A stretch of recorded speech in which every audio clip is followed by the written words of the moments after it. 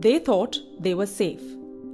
They thought that they have got the ultimate Suraksha Kavach, or protective armor, against COVID. But science does not work that way. Exceptions prove the rule. So is the case with COVID vaccines. While an overwhelming population getting vaccinated are ensuring safety from the disease, a tiny, tiny handful are not so lucky because no vaccine in the world has 100% efficacy. This is Sonakshi Awasthi at Earshot, and today is World Health Day, and we will bring you such breakthrough cases. Now, breakthrough cases are people who got jabbed but got infected after two weeks of the second vaccination. One such breakthrough case is Medanta's director in Lucknow, Dr. Rakesh Kapoor. See, I was given the first dose of vaccine uh, at Medanta, Lucknow, since I am a medical director at this place.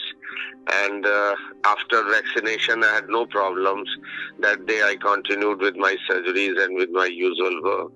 And after four weeks, second shot was given that also went very well, no problems. And uh, I had about three days back, I have a little got up in the night and have little malaise and uh, sore throat. So I thought next day to get it checked because malaise was there, weakness.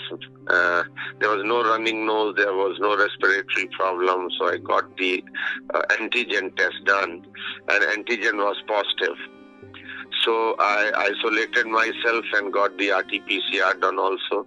That is also positive. I started the treatment part, uh, which is a WHO protocol. I'm continuing with that. Uh, my tests all were negative, so hope I should recover well. See, the concept is that uh, uh, the vaccine which is given to you uh, basically boosts up your immunity and the antibodies are formed against these uh, viruses. Uh, maybe uh, some strain change is there or some uh, mutation is there in the virus. So these antibodies either they are not so effective or my antibody titer when I got tested after second dose, uh, after a month of the second dose was about 9.75. Probably it was not up to the mark, but usual the virologist says even if you uh, get this infection after second dose of vaccine, the severity of the uh, infection is less. So let's hope uh, things should be fine.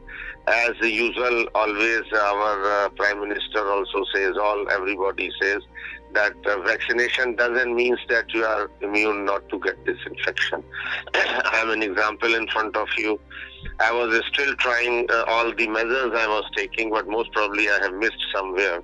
So mask, a distance, and the hygiene, hand hygiene is the most important thing which you can, which can really put you away from this coronavirus. Friday uh, morning, I had these symptoms, so I got it tested. So Friday, Saturday, Sunday, today is the fourth day. Luckily, I don't have any other systemic problem. I'm a non-diabetic. I'm a non-hypertensive. So probably I'm not taking any drugs for any ailment. So it depends upon.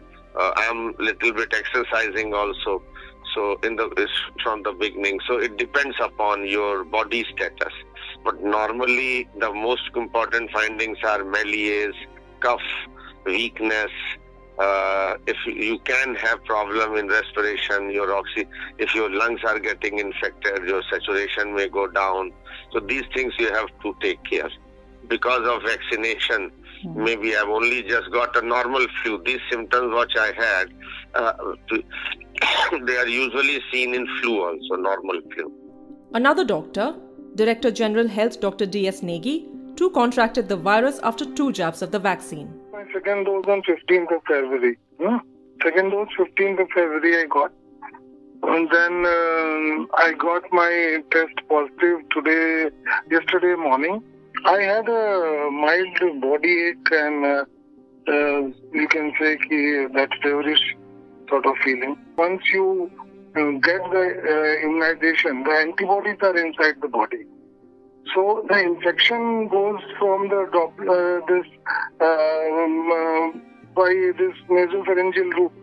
So infection will be there. Okay, infection will be there, but uh, if there is a proper antibody formation is there, then the severity of the disease will be lesser in comparison to if you would have not been vaccinated. Everybody should get uh, themselves vaccinated. Um, and uh, like uh, when I got uh, this my CT report, so my CT value is 33. So it would have been, I think, lesser if I would have not been vaccinated earlier. After vaccination, it doesn't mean that you stop wearing the mask and taking, uh, observing the COVID appropriate behavior. You have to follow that. You heard both the doctors who contracted the virus even after vaccination strongly suggesting that everyone should get a jab. For more such stories, log on to www.earshot.in. This is Sonakshi Awasthi signing off.